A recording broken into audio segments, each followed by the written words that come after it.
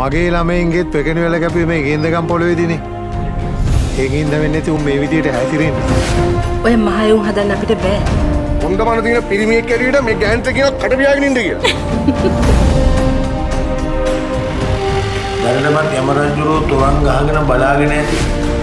අපි අපායට එනකල් බැස්්ටිය දෙන්න. කාලය අතැර උරුමය බෙදා වෙන් කරගන්න.